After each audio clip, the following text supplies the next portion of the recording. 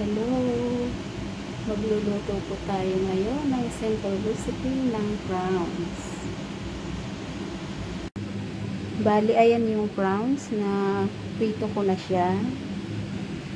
Dito, sa mantika na to, na konti lang.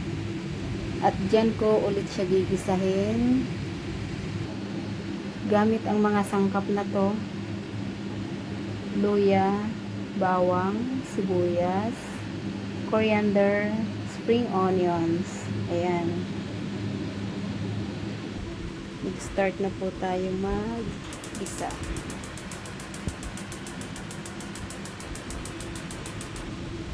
Hindi pa siya gaanong mainit. At the same time, nagluluto din po ako ng soup dito sa kabilang kalan.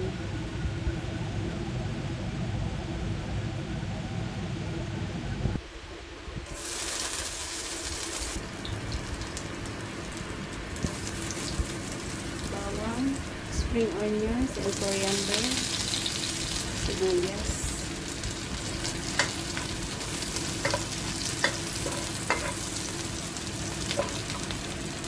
Bali, ito yung sauce niya. Ilalagay ko na lang sa screen kung anong ingredients nitong sauce. Yan, okay na siya. Lagay na natin ang shrimp.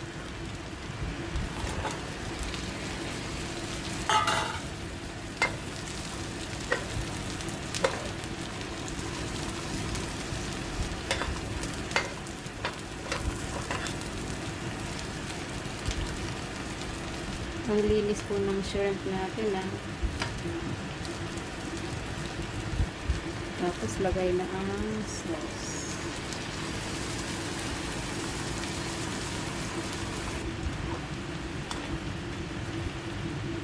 Lakas na natin ang apoy.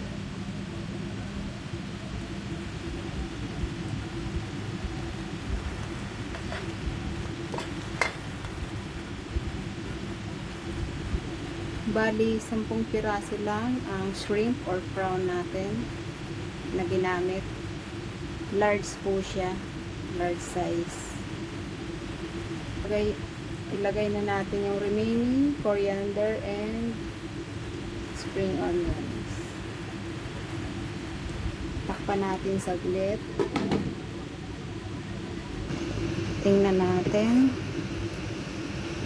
Ayan. Kunti na lang yung sabaw niya at medyo sticky na siya. Haluin na natin.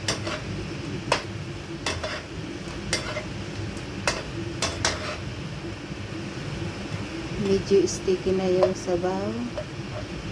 So, kunti na lang.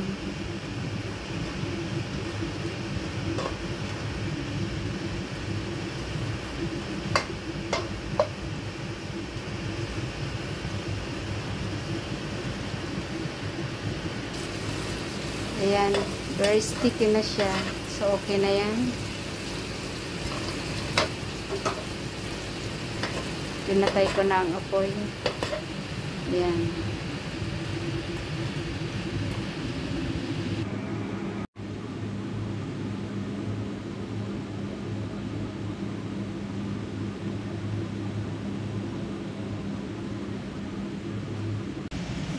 Ayun po, tapos na tayo sa shrimp. Naluto ko na yung shrimp. Tapos nagluto ako ulit ng adobong chicken wings with potatoes. Luto ko na rin yung soup. Chicken wings with potatoes. At yung soup.